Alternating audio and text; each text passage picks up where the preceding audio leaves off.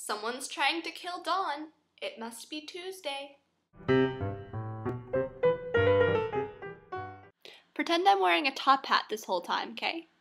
I would like to preface this video by saying, yes, Jacob, I am jealous, mostly because of the very wide ramp.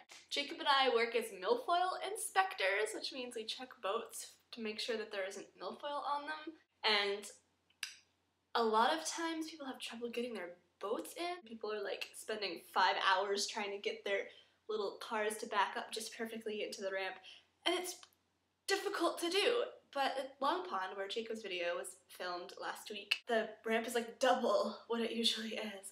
Circus theme!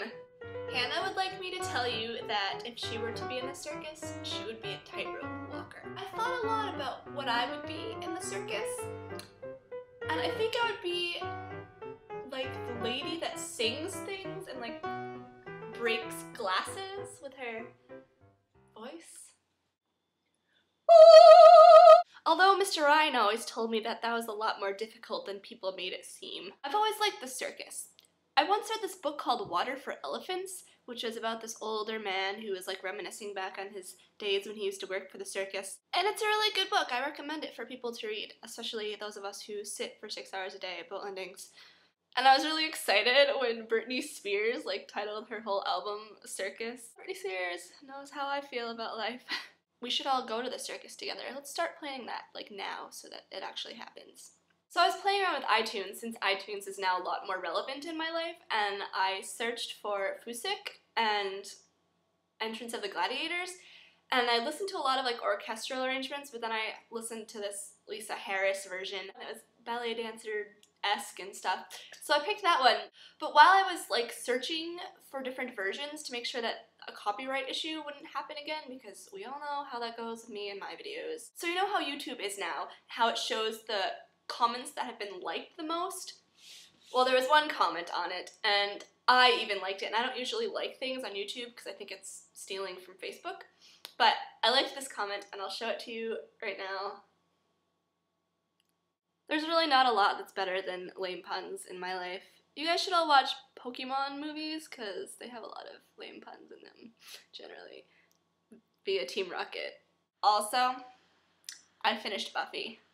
Also, Full Metal Alchemist has one episode left as of today, it being Tuesday, and all. So it's not like I filmed this video before I watched the second to last episode of Full Metal Alchemist. But as of now, I have watched it, and there's no more excuses. Everyone on this channel needs to watch Full Metal Alchemist Brotherhood, and people who aren't on this channel should watch it also. It's good. It's so good. And it being Tuesday, Eclipse comes out tonight. Christina and I read Twilight when it first came out, and we really liked it. Like, I'm pretty sure I read Twilight in one night.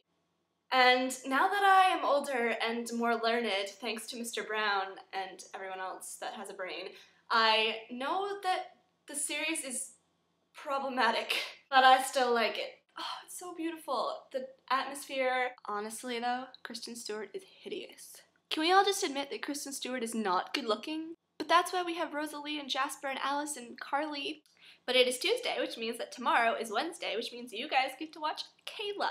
And I've heard that she's had a lot of fun making this video, and I'm sure it'll be really literary and creative writing-y and UMF influenced.